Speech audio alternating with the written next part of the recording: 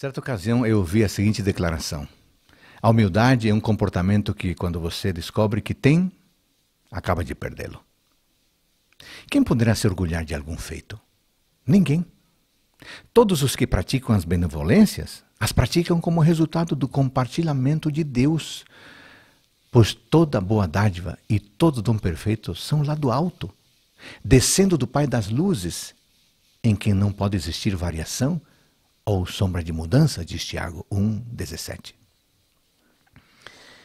O capítulo 10 de Isaías descreve alguns oráculos de juízo para aqueles que, perante os homens, agem injustamente.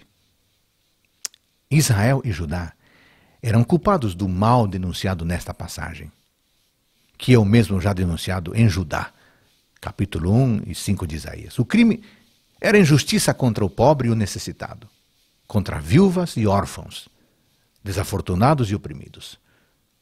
Como pode alguém julgar ser de Deus se oprime ou humilha ao próximo? O conselho de Deus para esse povo era: nada mais vos resta, senão dobrar-vos entre os prisioneiros e cair entre os mortos. Versículo 4. A ideia de que no juízo divino aqueles que humilharam seriam humilhados, com o castigo e, consequentemente, a sua própria morte. É porque o Senhor sabe livrar da provação aos piedosos e reserva sob castigo os injustos para o dia do juízo, diz 2 Pedro 2,9. A falta de humildade gera orgulho e arrogância. Pode ser, por exemplo, citar a pessoa de Nabucodonosor, que declarou ser grandioso em poder e suficientemente soberano, em Daniel 4,30, sendo um sinônimo do rei da Assíria. Com o poder da minha mão fiz isto, e com a minha sabedoria, porque sou inteligente. Versículo 13. Que por sua vez também recebeu o juízo de Deus contra a nação. Deus sempre intervém quando há soberba.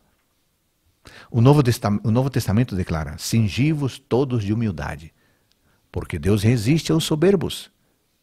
Contudo, aos humildes concede graça. 1 Pedro 5,5. Portanto, a ordem é, é humilhai-vos sob a poderosa mão de Deus, para que Ele, em tempo oportuno, vos exalte. 1 Pedro 5,6. Deus está no controle da história, amigo. Em Isaías 17, ele usa a Assíria, embora ela não esteja ciente disto. Por qual motivo Deus usa esta nação para cumprir sua vontade? Simples. Deus queria salvar tanto a nação de Israel, mesmo que derramando juízo sobre ela, por meio de uma nação pagã como a Síria. Muito embora o rei estivesse com planos de dominar todo o mundo. Mas o fato é que Deus queria salvar e por isso agiu dessa forma. Deus quer salvar as multidões, mas nem todos querem ouvir e converter-se diante dele. Há esperança para toda nação que se submete a Deus e começa a caminhar na estrada do Senhor. Deus estende a sua mão, tanto para efetuar juízo, efetuar juízo sobre os opressores, quanto para aliviar os fardos insuportáveis dos oprimidos. Deus é justo e preza pela justiça na terra. Quando Isaías declara: Naquele dia o peso deles será tirado dos ombros de vocês, e o jugo deles será removido do pescoço de vocês, jugo que será despedaçado por causa da gordura. Faz referência à mão de Deus trazendo justiça à sua casa e aos que pretende trazer à sua casa. Ainda que o povo de Israel merecesse os castigos de Deus, ele, com sua bondosa mão, o cercaria de paz após lapidá-lo. Depois de tantas opressões, injustiças e conflitos, o próprio Deus poria fim à violência.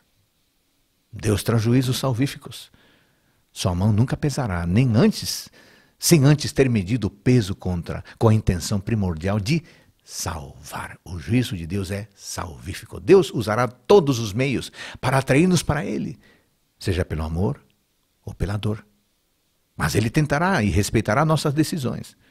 Hoje tomo o céu e a terra por testemunhas contra vocês, que lhes propus a vida e a morte, a bênção e a maldição. Escolham, pois, a vida para que vivam, vocês e os seus descendentes, diz Deuteronômio 30, 19.